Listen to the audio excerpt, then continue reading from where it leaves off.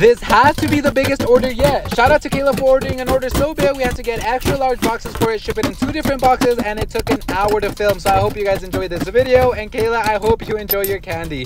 Kayla ordered every single bubble milk tea flavor, exotic drinks from Asia like Japanese, Fanta, and as well as Ramune drinks, spicy noodles, all our freeze-dried fruit and freeze-dried candy, Asian chips, and in the second box we put the giant gummy bear and giant Coca-Cola gummy bottle, more jelly fruits, more drinks, Asian snacks, and all the new candy we have on our website like Airheads, Warheads, Sourheads, everything sour.